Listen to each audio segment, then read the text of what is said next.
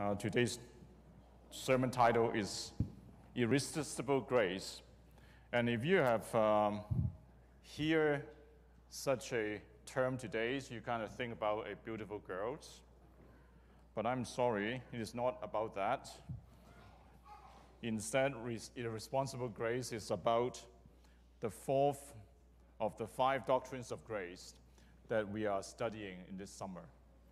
And it is also called the five points of Calvinism, if you've heard of that phrase.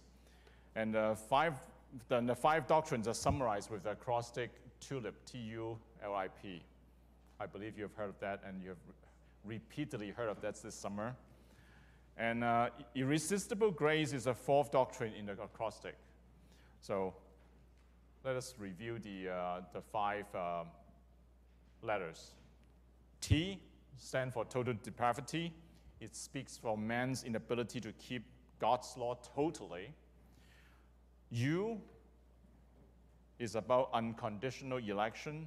It speaks of God's free sovereign choice in the safe salvation of sinners. L, Dennis have talked about this last week about limited atonement. It speaks of the efficacious and definitive nature of Jesus' atonement on the cross to die for sinners.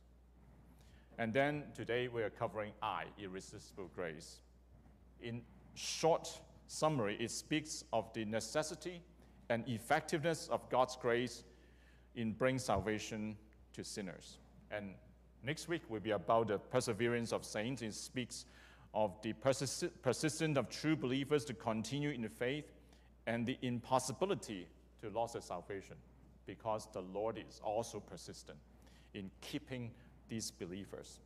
Now, these five doctrines are the main